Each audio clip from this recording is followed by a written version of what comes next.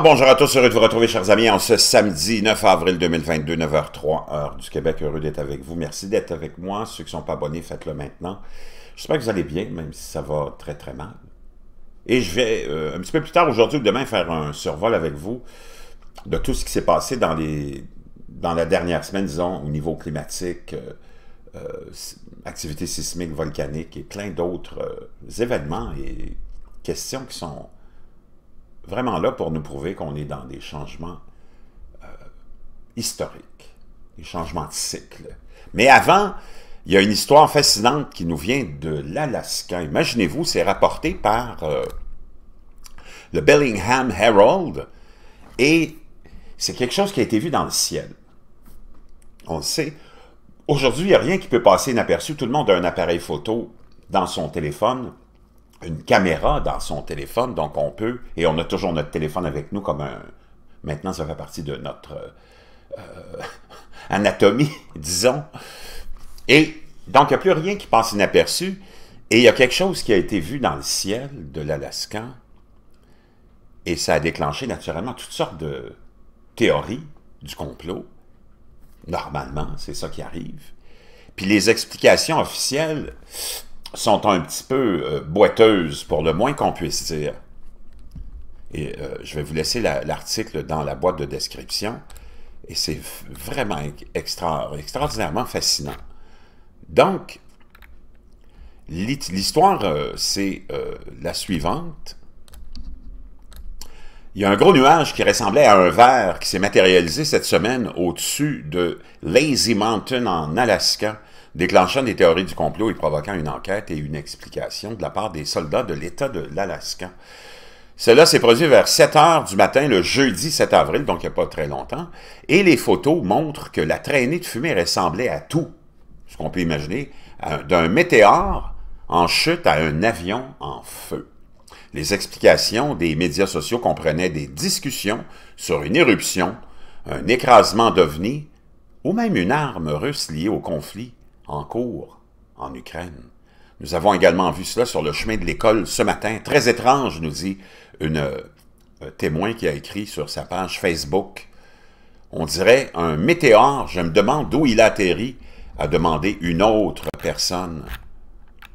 Les rumeurs d'un éventuel euh, accident d'avion ont finalement attiré l'attention des soldats de l'État de l'Alaska et du Centre de coordination de sauvetage de l'Alaska. Il n'y a eu aucun rapport d'aéronef en retard ou d'activation euh, de système d'alerte indiquant un crash d'avion.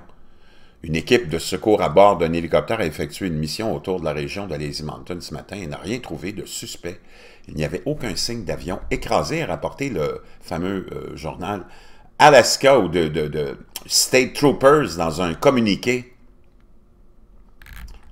une enquête plus approfondie a révélé qu'un gros jet commercial volait dans cette zone à peu près au moment où les photos et la vidéo ont été prises. L'avion a été contacté et a signalé des opérations de vol normal en route vers l'aéroport JFK de New York. Les soldats pensent que les photos et les vidéos montraient une traînée de condensation du jet commercial combiné au soleil levant qui, ensemble, ont provoqué la vue atmosphérique unique. Ça, c'est l'explication officielle pouvez en faire ce que vous voulez. Les commentateurs sur les réseaux sociaux ont immédiatement commencé à essayer de percer des trous dans cette explication, certains suggérant une dissimulation par le gouvernement d'un crash d'OVNI ou de tests d'armes secrètes. Le vieux gaz des marais reflétant la lumière de l'histoire de Vénus, a écrit un homme. Mermaid Bay des Barnacle, Boy aurait pu proposer une meilleure histoire que celle-ci, déclaré un autre. Mais Eddie euh, Zingon, un météorologue du National Weather Service à Anchorage, a déclaré que l'Anchorage Daily News, euh, que sa meilleure supposition était juste une traînée de condensation très vive. Tout d'abord, son épaisseur d'un côté, la partie inférieure gauche est beaucoup plus épaisse, ce à quoi nous nous attendions, a-t-il déclaré au journal. Donc, vous faites ce que vous voulez avec cette euh, histoire, cette, pardon, explication, mais quand vous verrez les photos, je peux vous dire que, comme le disait euh, euh, un, des euh, individus qui a commenté, un, des gens, une des personnes qui a commenté sur Facebook en disant que Mermaid Man ou Barnacle Boy aurait pu proposer une meilleure histoire que celle-ci, ben, enfin. Mais fascinant, il y a beaucoup, beaucoup de choses qui se passent. On le sait, c'est pas la première fois. Je vous avais déjà partagé il y a quelques années cette espèce de, de, traînée dans la neige en Antarctique aussi qui avait euh, suscité beaucoup, quelqu'un qui avait vu ça sur Google euh, Earth, beaucoup de réactions aussi. Celle-là va en susciter aussi beaucoup. Je vous laisse le lien, vous verrez les photos par vous-même, vous jugerez par vous-même.